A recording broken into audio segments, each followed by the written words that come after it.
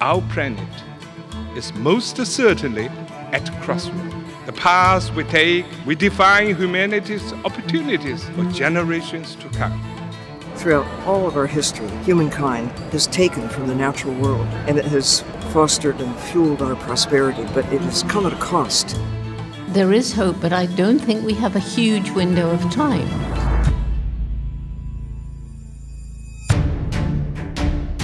The United States is proud to host the IUCN Congress for the first time.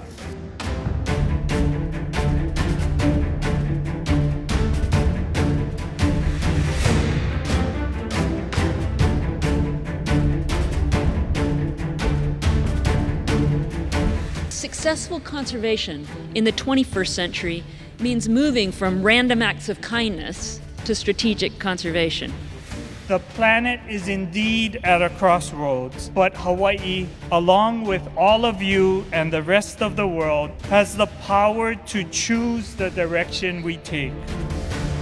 This is more than mapping or assessing or developing transparency.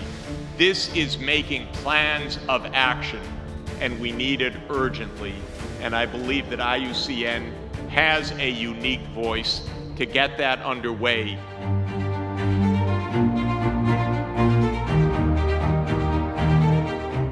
Efforts are nowhere close uh, to the scale or speed that is required to safeguard global commons, which is the foundation of the sustainable development. There has never been a more urgent or important time for us all to understand the world and our place in it. Because when we understand, we can act.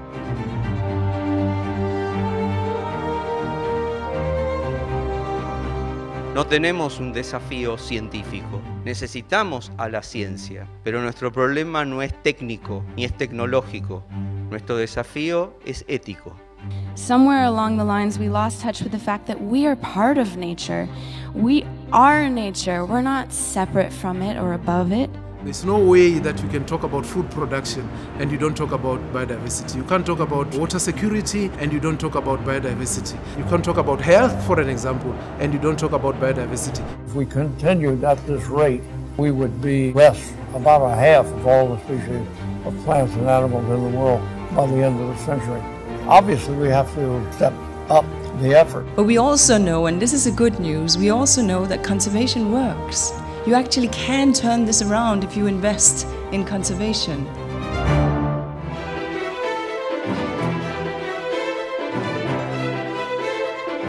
Nature-based solutions are cost-effective solutions. There is an enormous potential. Some of these solutions have not been really at the center of the discussion so far. I see increasing agreement on the part of our conservation community, private sector, governments around the world coming together to recognize that we're all in this together. It's no longer an us or them situation. Business is clearly engaged more than ever before.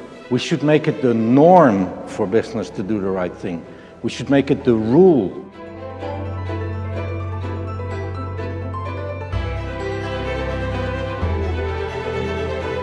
We are in this together, and only together we can resolve it. But if we stand together, there is no limit to what we humans can achieve. Witnessing the commitment of all of you who have come to take part in the World Conservation Congress, I can truly see that we are paddling in the same direction.